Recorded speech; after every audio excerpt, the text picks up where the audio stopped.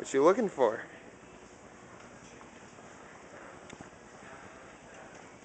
Oh, some new toys I see.